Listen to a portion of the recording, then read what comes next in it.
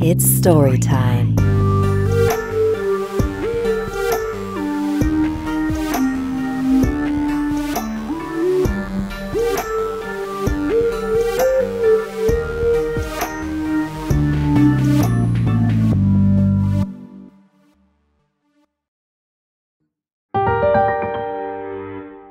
Chapter 1 His Little Devil by Hero. My friends call me Hero. I'm from the Philippines, specifically an urbanized region called Angeles City. I am a practicing witch, although my specialty is that of Western witchcraft, tarot, messenger magic, and not of the local kind, albulario, animism, shamanism. I was raised in a traditional Filipino household and similar to what you said from your podcasts, superstitions and local belief are definitely ingrained in my family. My mother, especially, was a firm believer in geomancy and green magic. She had these charms and crystals littered all over our house, changing each of their positions every year to bring good energies into the house and fend off dark energies. She also had these little friends, as what she calls them, that she brings sweet offerings to in our herb garden because she believes that they are also a contributor to the peace in our household. Needless to say, all this mysticism was passed on to me, her eldest. So, back when I was in my last year of college, my friends and I, our little witch clique, as what we had called it, since most of us bonded over the supernatural and most of us were practicing witches, planned to get together in our favorite cafe. It had been quite a while since we had seen each other because we were working our asses off with our theses. The day arrived, and I was caught off guard by this terribly handsome man that had tagged along with my best friend, Marie. She introduced him as Van, a fellow student who she asked to tag along on our lunch date, hoping that we make friends with him because of our common interests the supernatural. Knowing Marie, she was definitely pining for him. I mean, who wouldn't? He was average in height, had dark hair, a lean build, and there was something about his gaze that kept me on edge the whole time. It wasn't threatening, it was more alluring. If looks could kill, well, my poor heart would have died a thousand times already because of how he kept on looking at me. He had this aura that was literally inviting. And as expected, when he talked, he was a good speaker, and there was a hint of playful flirtiness in his tone. My poor heart. We had small talk, enjoyed lunch, and got back to graduation preparations soon after. Lo and behold, we were privately messaging days after. He was rather sweet. I entertained him as we talked about anything we could talk about for nights on end. He was, naturally, full of innuendo and very flirtatious, which amused me greatly since I was already deprived because of the stress of college. Small chats turned into all nighters, where we would call from midnight until dawn. My sleeping schedule was nearly non existent because of this.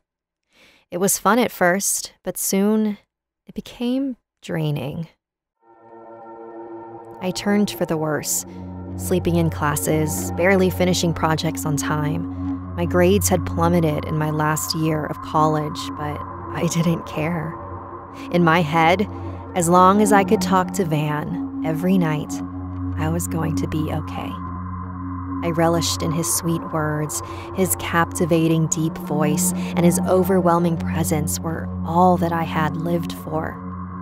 Looking back at it today, I never felt like that even with my current boyfriend of five years. It was addicting.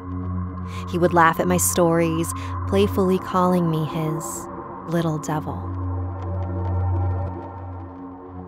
My wake up call was not far off. It started with my mother, with a stern face, saying, There's something wrong. I've been trying to find out where it's coming from, but it's you. You reek like one of those things outside the house. As I said before, my mother was a spiritually sensitive person, and I knew exactly what she was talking about. For her, I smelled like an evil spirit.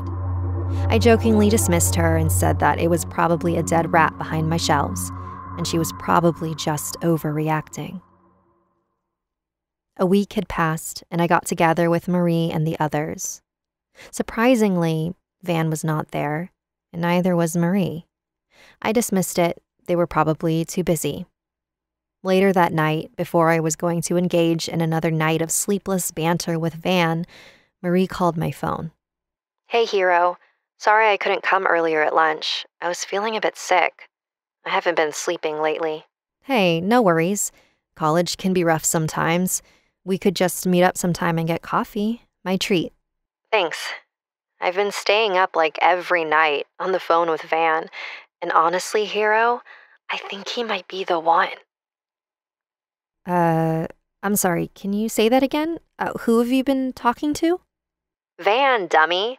You know, the guy I introduced to everyone last month. We've been calling nonstop every day, and I'm really into him. Hero? Are you there? What happened? Marie, when you call Van, do you hang up in between calls? Like, are there intervals? Nope. We usually call from like 1 a.m. to 6 a.m., nonstop. Why? Marie, I'm on the phone with Van every night, from 1 to 6 a.m. What? I rejected all of Van's calls that day and the days after. How was this even possible? Can he call two people at the same time?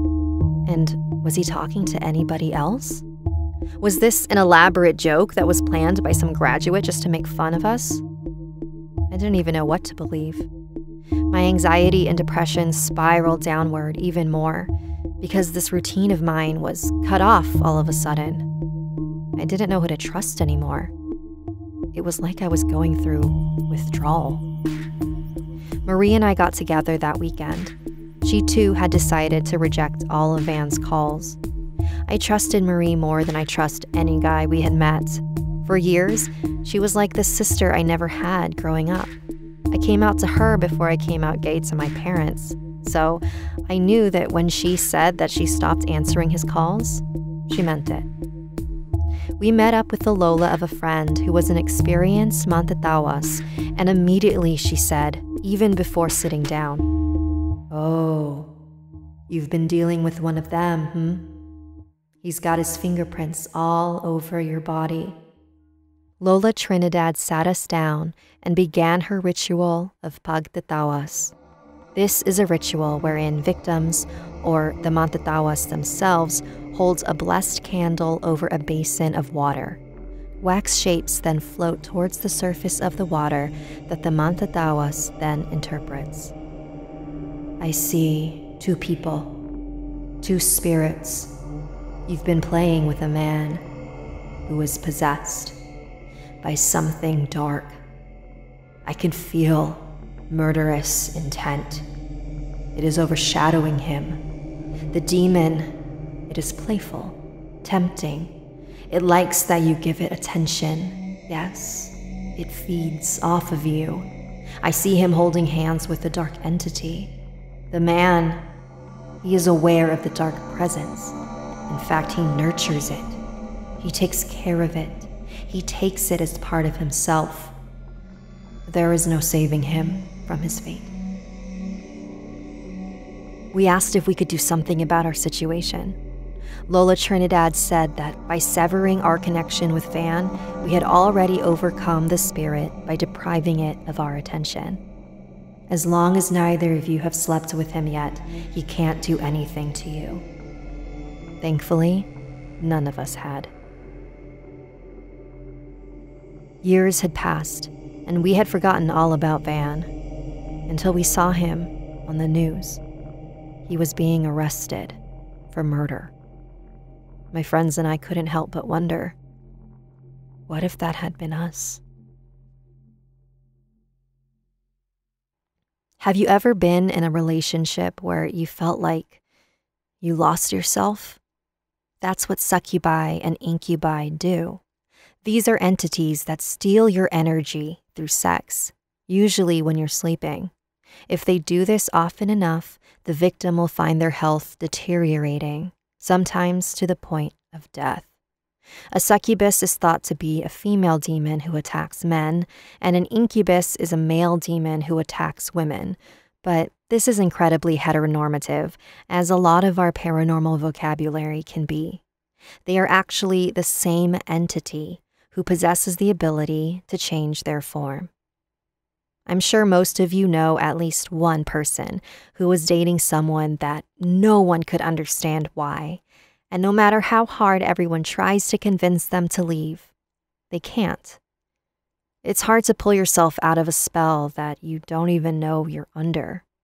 And whether or not these people were dealing with something supernatural, like Hero, I think it's important to remember that humans are just as capable of stealing your energy.